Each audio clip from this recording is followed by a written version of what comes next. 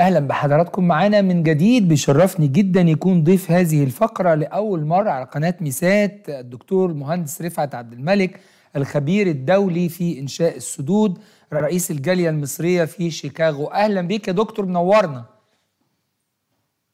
أهلا وسهلا. إزيك يا إيهاب؟ الحمد لله يا فندم. أهلا بسعادتك. أنت سامعني كويس؟ جدا يا فندم. حضرتك سامعني؟ أيوه سامع كويس خالص. تمام زي الفل. وبس في تايم لاج بسيط لكن إحنا سامعين بعض حلو. دكتور أنا عايز بسرعة أنجز آه، آه، عشان نلحق نتكلم عن السدود وسد النهضة وتاريخ سعادتك.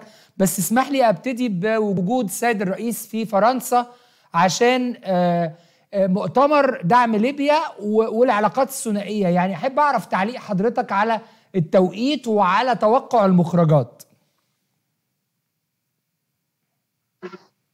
طبعا السيد الرئيس يعني كلنا إحنا في المحجر بنفتخر بكل الإنجازات اللي هو بيعملها. أنا كنت زي ما حضرتك يمكن ما تعرفش أنا كنت موجود في مصر من حوالي ثلاث أسابيع.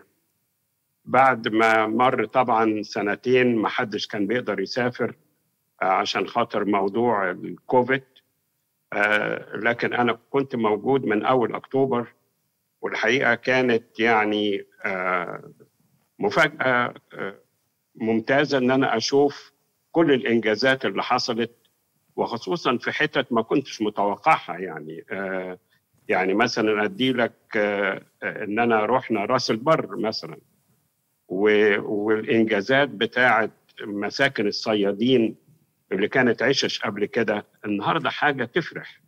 وألوان كده يعني الحقيقة الواحد آه، ما كانش ابدا متوقع إن أنا أشوف حاجة زي كده.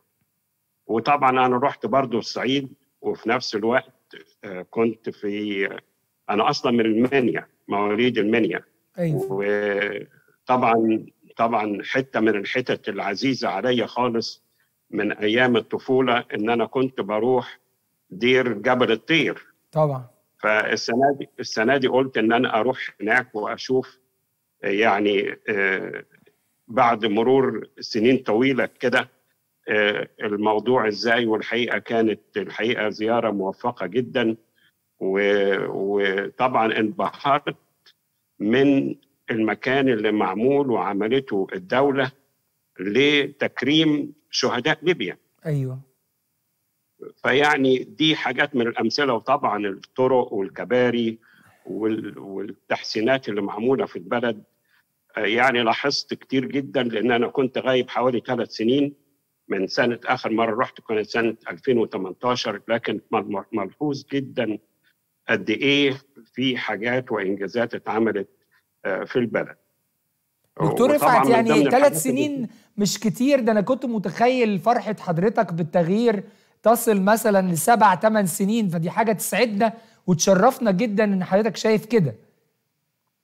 لا طبعا وبعدين أنا كنت موجود في بورسعيد برضو آه وشفت طبعا قناة السويس والإنجازات اللي فيها وكده. حاجة تفرح الحقيقة حاجة تفرح.